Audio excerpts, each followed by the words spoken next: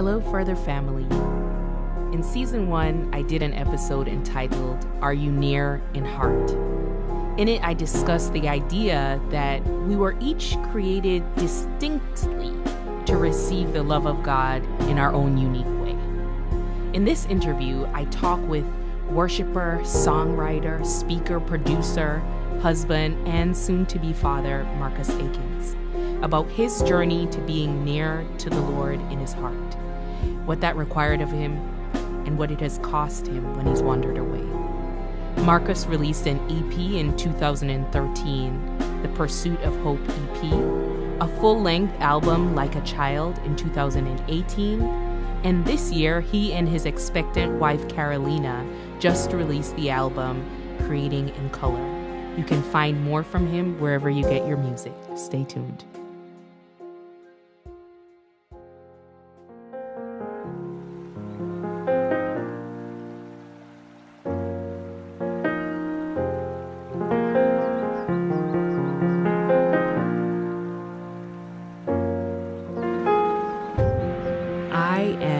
Dr. Shauna Knox, and this is Further,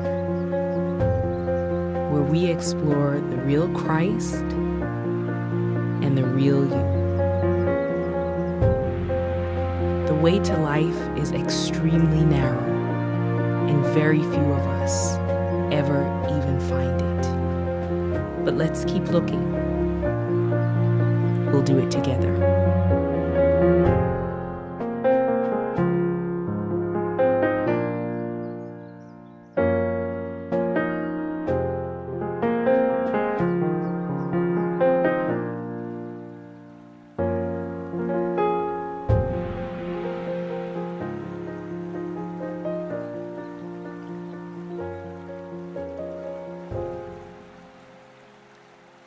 In Matthew 15, Jesus talks about our ability to draw near to him with our words, while at the same time not being near to him in our hearts.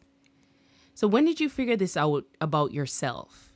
That you personally had the capacity to be far away from the Lord in your heart, even while you're still near to him with what you're saying? Wow.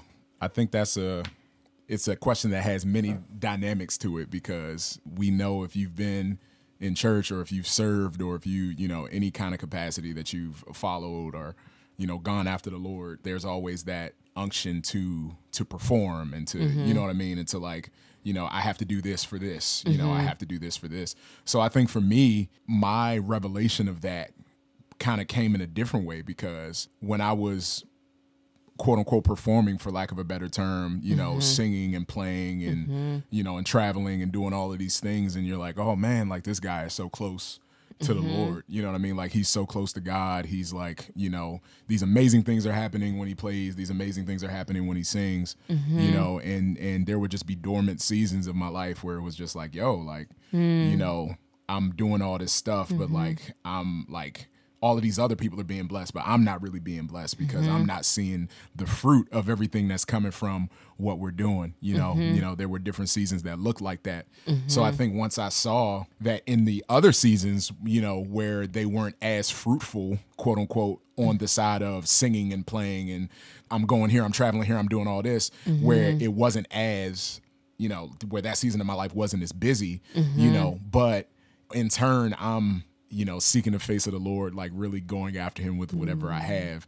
And just at that point, like really experiencing the nearness of the Lord, like mm-hmm. walking in his favor, seeing all the things that that you see when there's not all of the hustle and bustle, you know. So I think like really seeing that contrast, you know what I mm-hmm. mean, between okay, you're doing you're you know you're doing all that stuff, and don't get me wrong, there were seasons as well where I was doing all that stuff and felt the nearness and presence of God, like He's always there and things like that. But Yeah. uh, but just seeing the contrast of okay, I don't have to be doing all of that stuff, you know, for me to feel as near to Him as possible. You know what I mean? And what does that feel like for you when you're near to the Lord in your heart? In your heart, yeah, what is that feeling?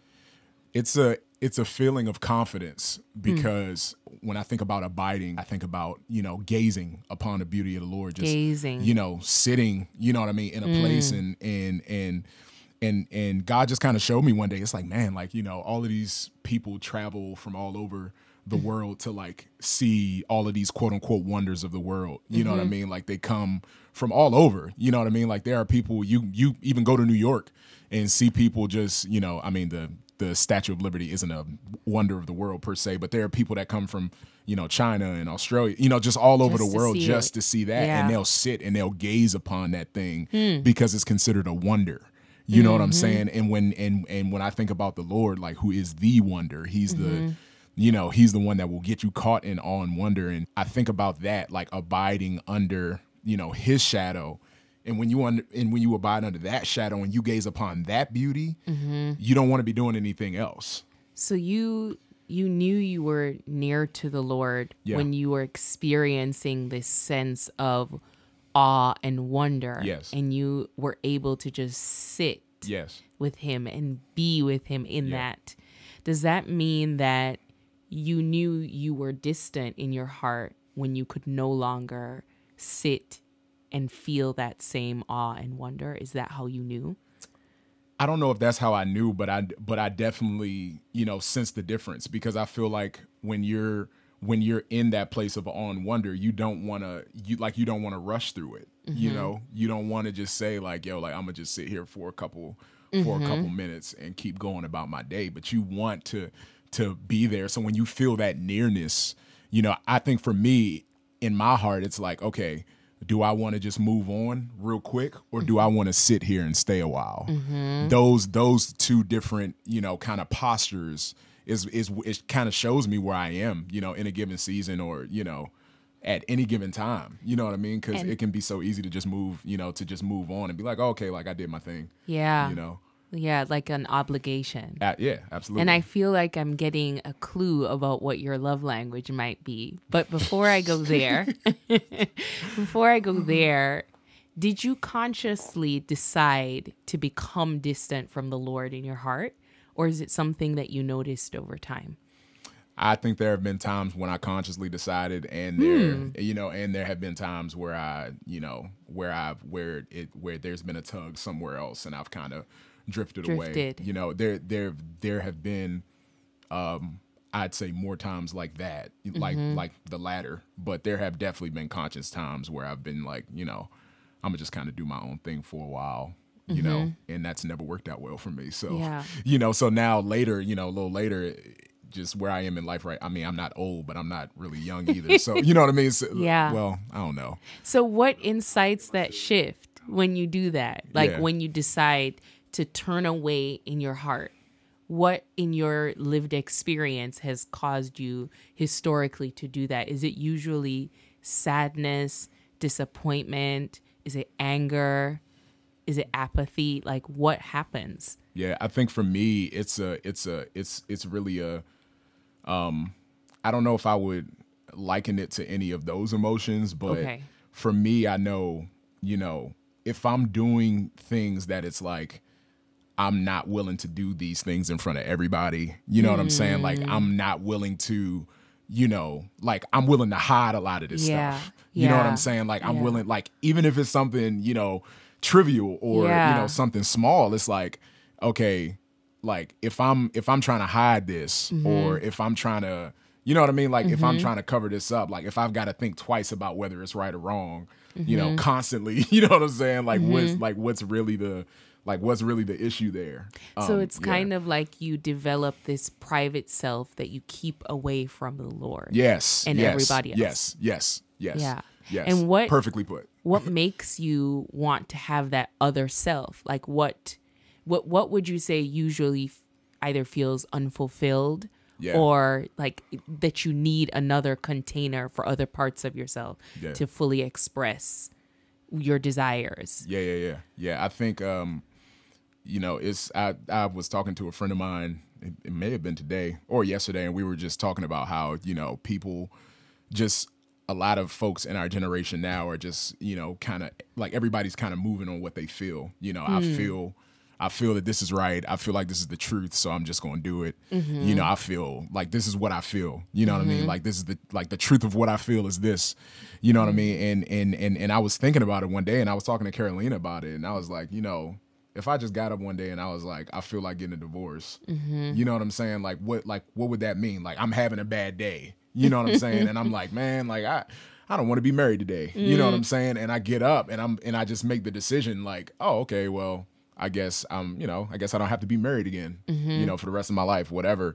And and it's like that sense of like wanting to like act like wanting to um like fulfill i guess your feelings Mm-hmm. you know what i'm saying like like to um what's the word i'm looking for to like i don't know like gratify i guess like your feeling Yeah. you Mm-hmm. Know what i mean like Those to, instincts. Mm-hmm. yeah yeah just like those instincts and you know you know i think about it in um in galatians you know 5 where it says you know you know pursue the lord you know go after the lord you won't you know fulfill the lust of the flesh That's right. you know what i'm saying and Yeah. and which means like we all like we all have lust of the flesh Yeah. you know what i'm saying like we Yeah. all have that and i think about it it's like you know we all feel things because you know to lust is a thing of feeling Mm-hmm. everything lustful is a feel you know is something that you feel Mm-hmm. but just because you feel that that doesn't mean you have to fulfill it you know what Mm-hmm. i'm saying like it's two different it's just two different things and and you know so yeah So sometimes kind of resting on those lustful desires Yeah. you know what i mean that can look different ways you know? sometimes there are feelings you feel like you can't express with the Lord or you can't gratify with the Lord. So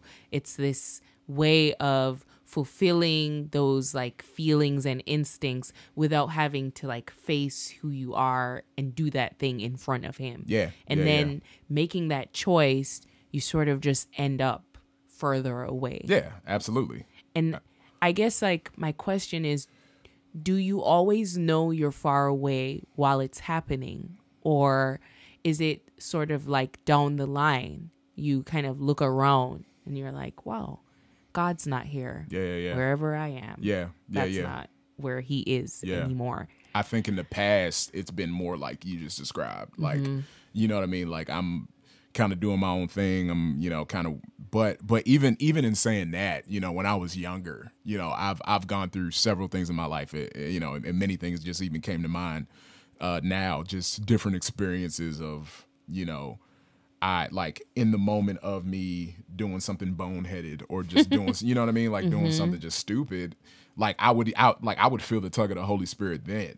You know what I mean, like in those moments. So it's it's like, like I can kind of say that more so back then because um just because I was you know I was in a different frame of mind mentally, I guess. Um now now it it like the light clicks on very easily. You know mm. what I mean? And I think that that's just because of, you know, how I've grown in my communion with the Lord. Yeah. You know what I mean? You you you just grow in your sense of Yeah. that. you know what I mean? yeah Yeah. you're near to him so often that now if you're far away it's always very easy to detect Yeah. that Yeah. Would you say that there are stages to distancing, like maybe a numbing over time?